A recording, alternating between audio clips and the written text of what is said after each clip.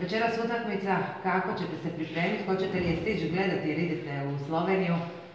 Prvo, danas je veliki dan ovaj, Hrvatskom rukometnom savezu i našim igračima. Prvo, čestitke od mene na velikoj pobjedi protiv Polske.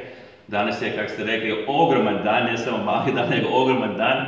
Ja želim našim dečkima puno sreće i da daju sve od sebe, to znam da hoću. Cijela Hrvatska je danas uz njih i ja sam evo, optimistan, ja sam da će oni igrati kao su, kao su do sada su ili i to će biti uh, uspešan i veliki dan za Hrvatsku. Znači, sigurni ste u našu pobjedu?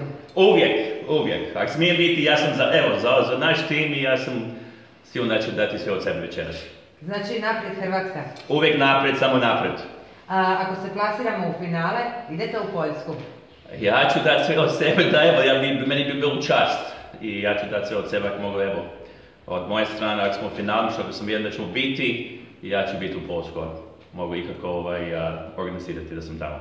Večeras ste pred TV ekranom ili hoćete li uspjeti? Uspjet ću, apsolutno. Ja evo i prijatelj ćemo biti malo zajedno večeras, pa ćemo zajedno gledati utakmicu zajedno i u kockicama ćemo biti večeras. Naprijed Hrvatska. Samo naprijed. Hvala. Hvala.